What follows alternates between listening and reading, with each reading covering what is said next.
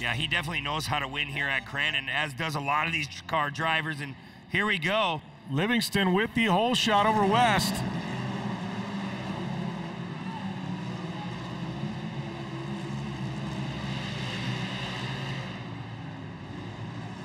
It doesn't talk, take these pro mods very long to get up to speed. They're already flying. Whoa. Tyler Livingston way wide. Uh, so is West there, way out there. Looks like Rodney Van Eperen spinning down in, down by the swamp monster that is officially dried up. Livingston, How did he keep that lead? he's got the lead. West is in second.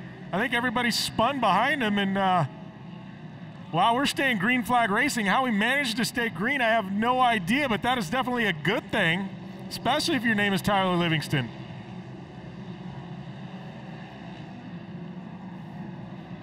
Got to give a lot of credit there to West, holding on to the pressure as well. Think his quote yesterday, us Southern boys, we know how to race too. He did. He brought that right up. He's like, hey, you remember that. And he, he'll be back in the fall as well. And the day is not over. There's a shot there to our leader, Livingston, on rails with West.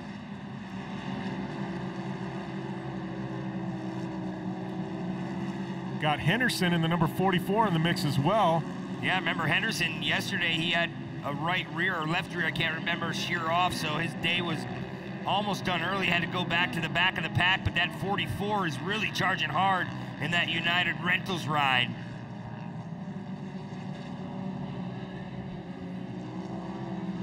Lance West not going away.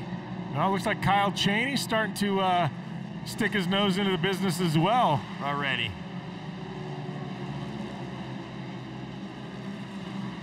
You know, Kyle Cheney, we talked about it. I know Tiffany interviewed him yesterday. You know, here's the guy who went to King of the Hammers. He went to the UTV World Championship. Uh, he's bouncing around. He's doing a lot of different UTV racing all over the country, and I think it's made him a better short course racer. Definitely one to watch there. But uh, Jimmy Henderson, in right into the back of Livingston there. Yeah, Henderson definitely with a quick car. It's going to be a little wet on that bottom, and the advantage will go to Tyler Livingston just trying to stay off that berm. It looked like he had to check up just a hair there, but now down low, looks like he may have something for Livingston. He seals the deal. Jimmy Henderson with a pass for the lead right in front of the grandstands. Now Livingston to the outside. We're going into the Yokohama barn corner.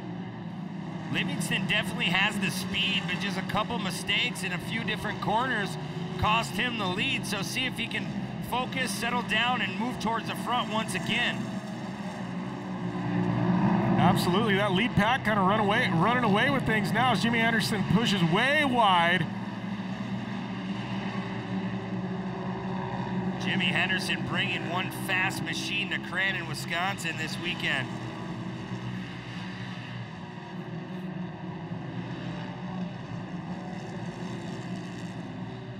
The XPS ride of Kyle Cheney moving up towards the third place. It looks like he might have taken it over.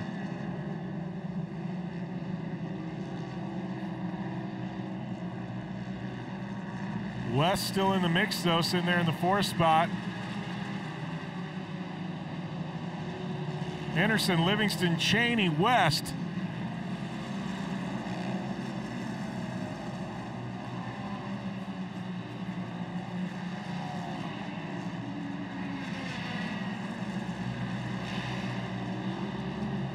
Henderson flying off the Polaris RZR jump, heading back towards what will be the finish line. And here comes Kyle Cheney, the number 91 Maxxis ride, trying to put it all together again, trying to double down here this weekend. Cheney driving it so hard in that corner that uh, left front was lifting off, had the three wheel motion going on. He was driving so hard.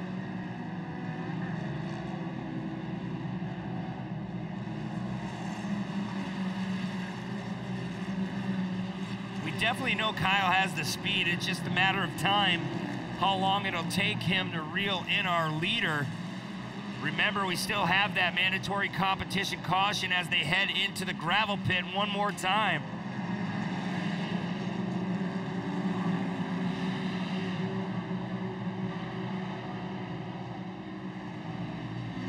Cheney down low. Cheney had to check up just a little bit right before the mandatory competition caution. Looks like Jimmy Henderson going to retain that spot as we go to the competition caution to mark the halfway point. We are halfway home here. Jimmy Henderson, Kyle Cheney, Tyler Livingston.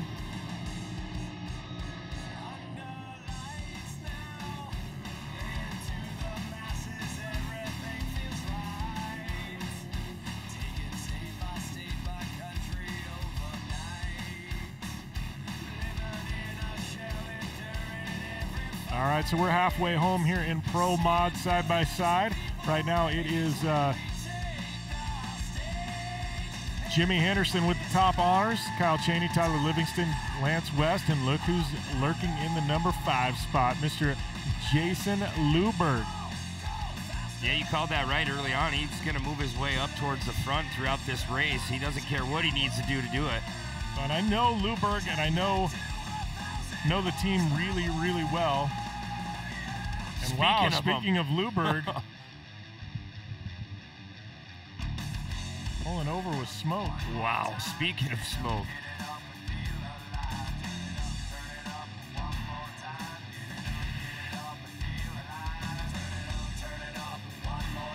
Tough break there for the number seven. Wasn't their day yesterday, definitely not their day today. As he's pulling away in the background, it's just pouring out.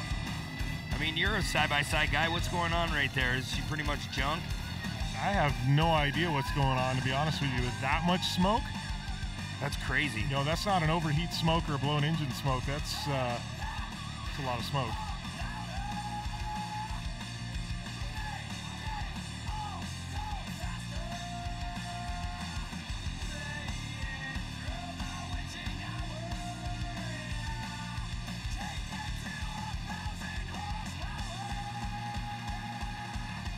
Jimmy Henderson, Kyle Cheney, Tyler Livingston, your top three, and there's a good look at the number seven of Jason Luberg.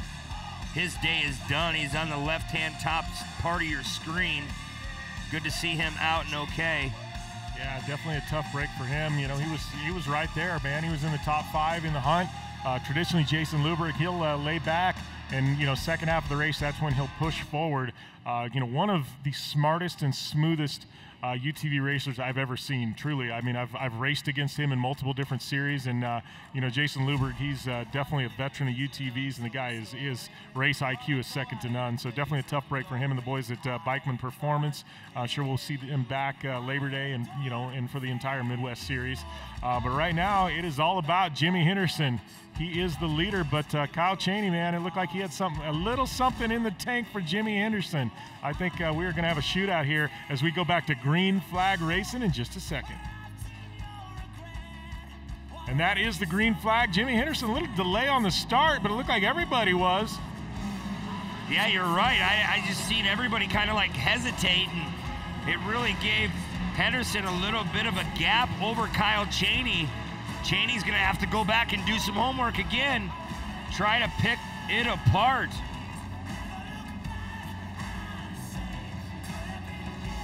Number 44, that is Henderson. Cheney in the 91 there. Livingston back there in the third spot.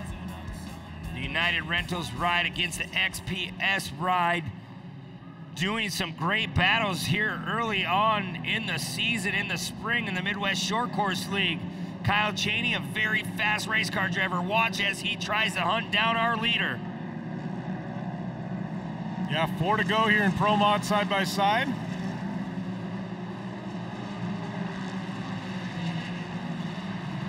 So it's Henderson, Cheney, Livingston, Beavers, and Elliott Burns in the top five. Now Lance West dropping back to sixth. Rodney Van Eperen battling back to seventh now. Cheney's been getting a heck of a run out of this gravel pit, really hooking up those Maxxis tires. And Henderson is just that fast. Henderson on rails today. As we say that, though, oh, Oh. we got a lot of contact there. Kyle Cheney making his presence known, taking the spot with force.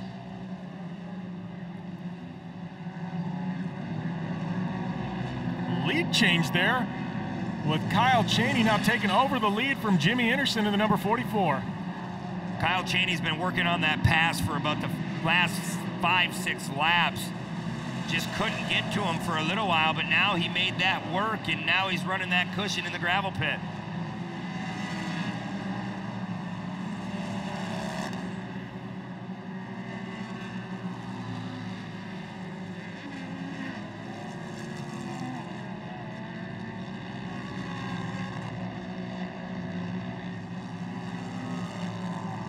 All right, here's a look at this pass here. Henderson drifting way wide, and Cheney tucking in low. They come back, and it looked like, well, it looked like Henderson may have got into Cheney. It looked like Cheney was holding his line a bit, just kind of a racing incident. Cheney holding his line, took over the lead. Great bit of racing there between these guys, just driving each other really hard right now. Henderson not going away. He's within striking distance. That's all it takes is one mistake. It's hard to say about Kyle Cheney. He's been pretty flawless once he gets up front. Yeah, Tyler Livingston still in that third spot. Rodney Van Eperen moving up into the fourth spot. It's going to take a bit for Rodney Van Eperen to move up into podium contention, though. He's uh, he's still a ways back of third place. That gravel pit turn really killed him early on in the race, man. When he came in there a little too hot and heavy, anytime you go back to the mid-teens in the group, it takes a long time to pick everyone off.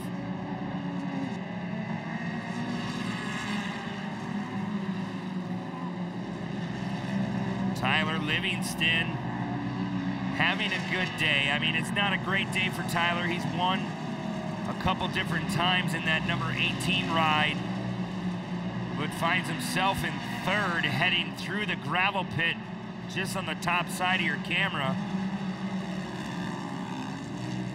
Just sending it off that Polaris RZR legendary leap.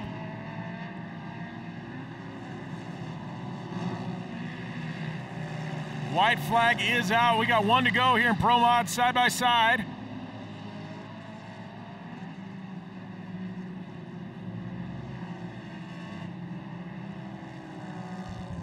Kyle Cheney still out front. Like Jim was saying, we're on the last lap. One more time around, a few more turns to go for Kyle Cheney. Flies off the drop-off jump. He should run the cushion this time by just to try to run the fast line.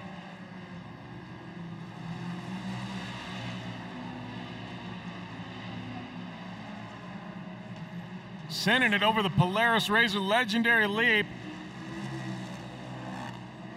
Kyle Cheney going to take the checker flag and the victory here at Crandon.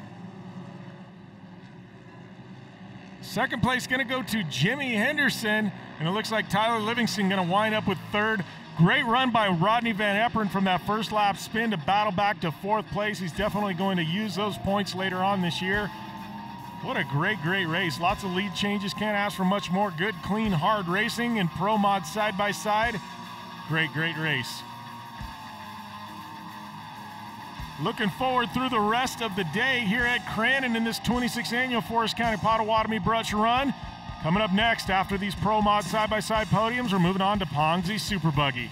Then we've got Pro Lights on deck, and then immediately following that, we've got the 26th annual Forest County Potawatomi Community Cup Challenge. Pro 2s versus Pro 4s on the long track here. It's going to be an all-out slugfest with the best in the business. Yeah, definitely. I see the track developing very nicely, and uh, we were talking earlier about the Pro 2s having an advantage. But if that bottom side goes blue groove, we really will have issues with those Pro 4s hunting down the Pro 2s. So I'm excited. I couldn't put a name on who's going to be on the Cup this year, but we're ready for it. Yeah, I'm definitely ready for it. I think, uh, you know, tire choice was the theme of the day. Uh, you know, a lot of these guys talking about how they're going to groove their tires for that uh, that Cup race, and I think whoever knocks their grooving out of the park, that's going to be who we see slide up to the front. You know, and it's a, it's a little bit of a gamble because it's been a while since I've been out on track. So watching these other divisions race, trying to figure out how that track is actually maturing, and that's going to determine what set of tires they actually put on their cars and their trucks. So uh, definitely going to be an interesting storyline as we look forward to that Community Cup Challenge coming at you later today. But before we get to that, I know here in just a second, we're going to throw it down to Tiffany Stone right now with our podium finishers in Pro Mod side by side. Kyle Cheney taking another top spot here, and you're telling me that short course is not necessarily your forte. You're kind of proving everybody that it is your forte, and obviously you've had a lot of practice in different types of terrain. Overall weekend, what's the mindset like? Uh, I mean, the track was really good today. It was a little slick to start with, and uh, Jimmy pulled me off, off, the start and left me. And uh, once the track came around, uh, I was able to get up behind him. I mean, we had a really good race going on, man. Me and Jimmy were, were battling hard, and uh, I set him up in that corner, and I went high, and he went low, but then pushed out, and I went under him. And uh, I mean, we made some contact there, but I still think it was a good race overall. And man, my Can-Am was running awesome. I mean, Can-Am's one, two, and Three? Yeah, that's perfect. Yeah. You, you were saying that yesterday, so it's just Can Am, Can Am, Can Am, and it's happened two days in a row. Overall consensus? Yeah, just uh, go by Can Am, looks like. well, you've done a great job here. I know you got to thank a lot of people for bringing you here, especially uh, to Crandon.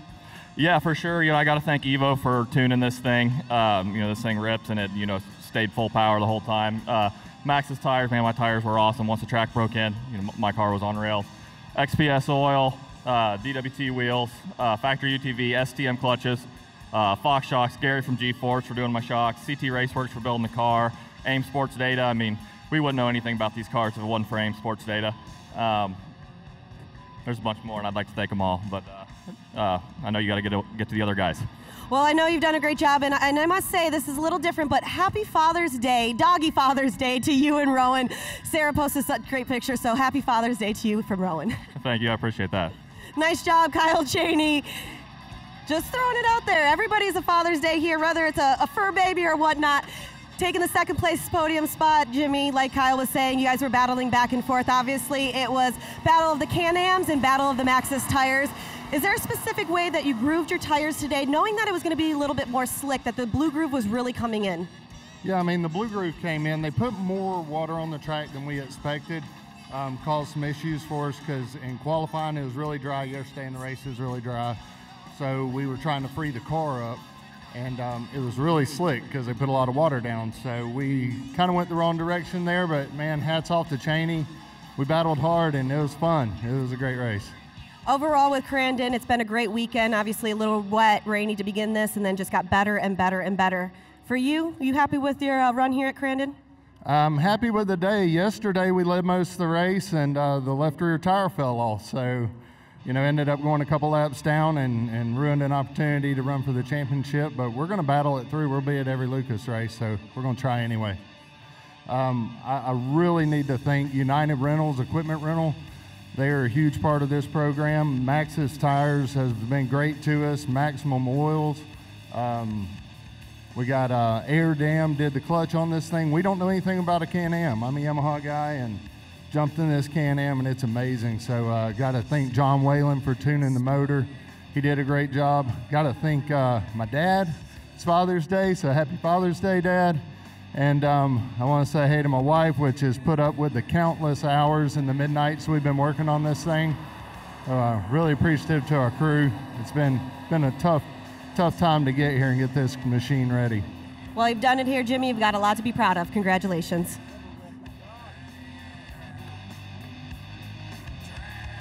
And all I kept hearing was Livingston, Livingston, Livingston. It just seems like you were just doing so much out there. I know you got a lot of people that are proud of you.